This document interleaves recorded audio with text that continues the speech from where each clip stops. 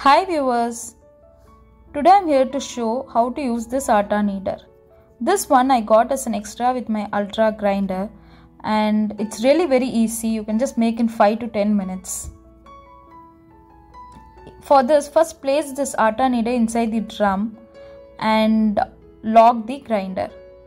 Make sure these two join properly. After locking the grinder, add all the ingredients that you add for making the chapati dough. Here I am adding 2 cups of uh, wheat flour. After that, required amount of salt and then a little amount of oil.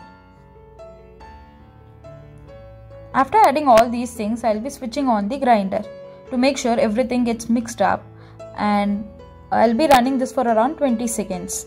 After that, I'll add uh, water little by little. So for 2 cups of wheat flour, it required around 1 and a quarter cup of water. Uh, I'm just uh, removing whatever stuck on the edges with this blue stick that I got with the grinder and after adding uh, all the water the dough starts to come bind together so once the dough binds uh, together you can run the grinder for around 5 minutes because the more you knead the dough the more soft the chapatis will be.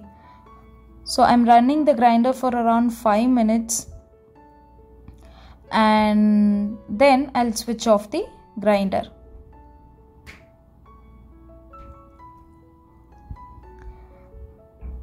Now i'll remove the kneader first. Before removing the dough i'll remove the atta kneader I'll remove all the dough that are stuck in the atta kneader. Then I'll just soak this kneader in water for 2 minutes. Then I'll clean it off. It's really simple to clean. And then I'm taking this dough. Just see how effortlessly you'll get this chapati dough. And I'll also show at the end how soft the chapati is, how layered the chapati is. This I'll keep for aside for around 15 minutes and then I'll start making chapati. Meanwhile, I'm cleaning this drum with a wet tissue.